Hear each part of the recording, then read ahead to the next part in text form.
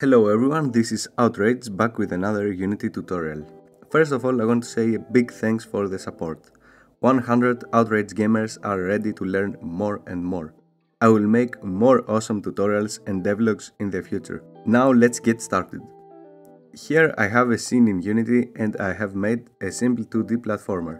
Also, as you see, I have different ground colors. I'm going to create a sprite mask and drag a sprite with a circle shape there.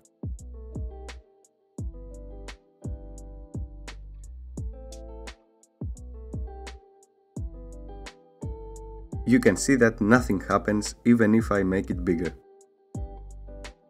Now check this out. If I make the blue ground visible inside the sprite mask, it's going to show up whenever I cover it with my sprite mask. The same happens with the pink ground, but this time it's visible outside the sprite mask. Now I'm going to make every blue ground visible inside the sprite mask and every pink ground visible outside of it.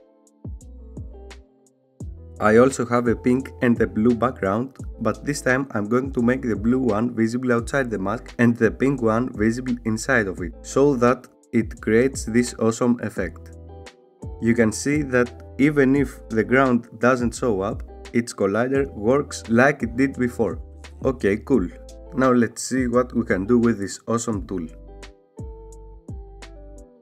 First off, I'm going to select the sprite mask and create an idle animation that's going to stay empty, and an active animation with which the sprite mask is going to increase size fast.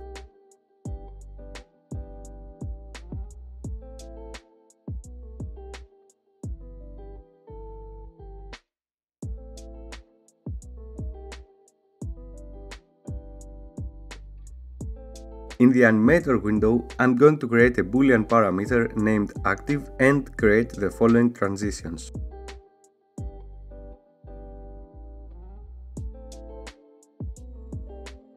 Don't forget to disable loop time from the active animation. Nothing is happening for now.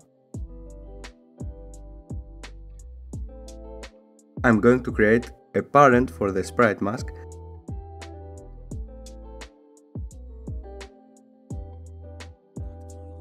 that's going to have a box collider set to trigger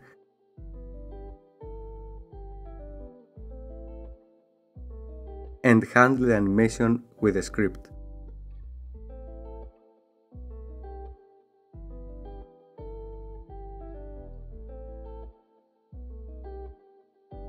I will create an animator variable and a game object variable in which I'm going to store the sprite mask.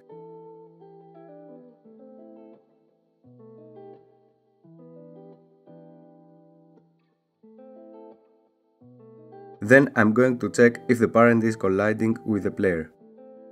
If so, the sprite mask is going to get bigger.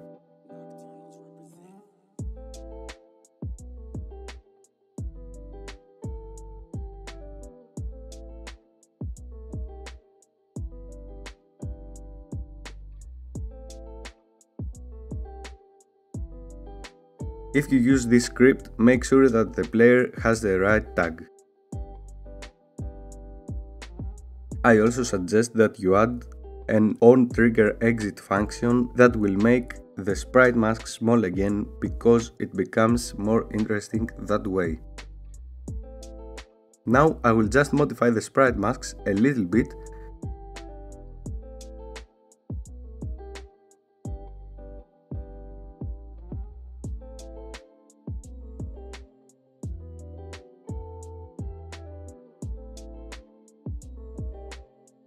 And I just made an interesting mechanic for a 2D platformer. Pretty cool, right?